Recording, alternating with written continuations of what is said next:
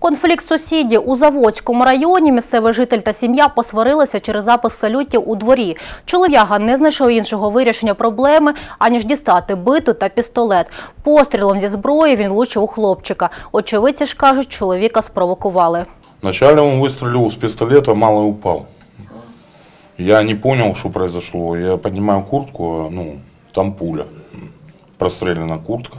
Так згадує про стрілянину на вулиці Громадянській, що трапилася 20 грудня, один із учасників конфлікту. Близько восьмої вечора він, його дружина, діти та друзі запускали дворі фейерверки та петарди. Таке дійство обурило сусіда, що призвело до сварки. Тож далі він влучив із зброю 10-річного хлопчика, а тоді вийшов із битою та пістолетом вже на вулицю. Дорослі самі відібрали зброю, викликали поліцію та отримували чолов'ягу до приїзду правоохоронців. У чоловіка у затриманого були явні ознаки алкогольного сп'яніння, а, але в присутності патрульних він е, поводився м, нормально. Патрульним він нічого не пояснював. Постраждалого хлопчика від тяжких травм врятувала куртка. Вона буквально послугувала йому бронежилетом. В области э, грудной клетки справа э, ушиб э, мягких э, тканей.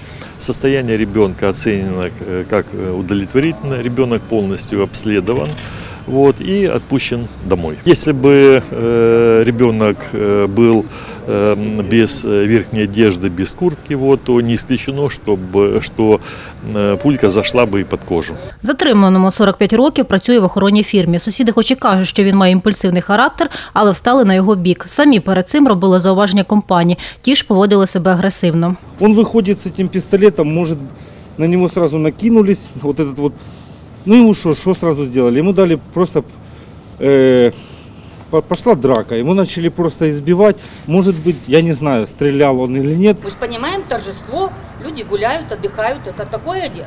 Но это было полдня, весь дом вот так вот весь трусился. Ну так же тоже нельзя. За скоєне чолов'язі загрожує до 7 років позбавлення волі, а от компанія за пуск фейерверків повинна буде сплатити штраф.